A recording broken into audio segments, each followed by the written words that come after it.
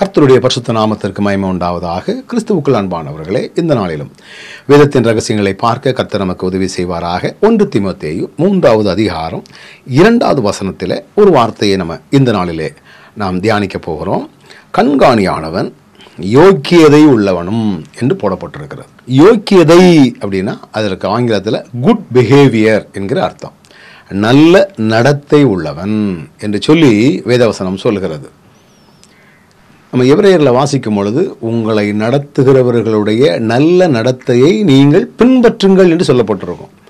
அப்படின்னா கண்காணியை விரும்புகிறவன் என்றால் முதன்மை உள்ளவன் தலைமைத்துவத்திலே உள்ளவன். நிறைய கிராமங்களில் போதகரே அப்படி பண்ணுறாரு அவரே டென்ஷனாக இருக்கிறாரு. அவரே இல்லாததெல்லாம் சொல்கிறாரு இவரே இப்படி பண்ணுறாங்க இந்த பொறுப்பில் இருக்கிறவங்களே அப்படி பண்ணுறாங்க அப்புறம் நாங்கள் ஏமாத்திரம் என்று சொல்லிவிடுகிறார்கள். இங்கே வசனம் என்ன சொல்கிறது நல்ல நடத்தை உள்ளனும் ஏன்னா இன்றைக்கி நிறைய பேர் நம்ம நேரடியாகவும் பார்க்குறாங்க மறைமுகமாகவும் பார்க்குறாங்க.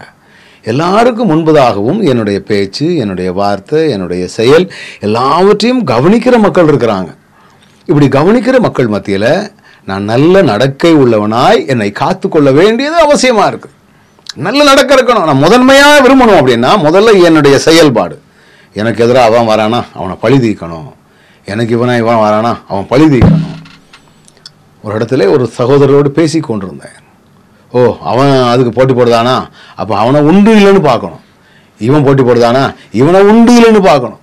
இப்படி தான் வசனம் என்ன சொல் நல்ல நடத்தை உள்ளவர்களை நாம் மாதிரிகளாக வாய்த்து நமக்கு மாதிரிகளாக நாம் அவர்களை பார்க்கணுமா?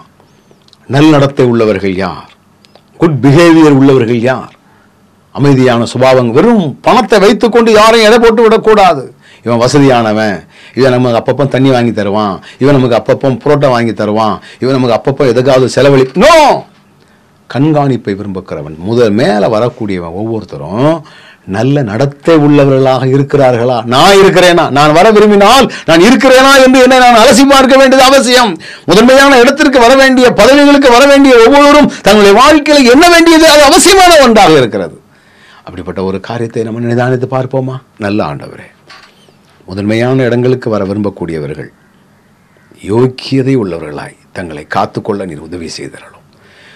அப்படி செய்ய போவதற்காக மக்கள் நன்றி. இயேசுவி நாமத்தில் ஜெபிக்கிறோம். நல்ல பிதாவே. ஆமே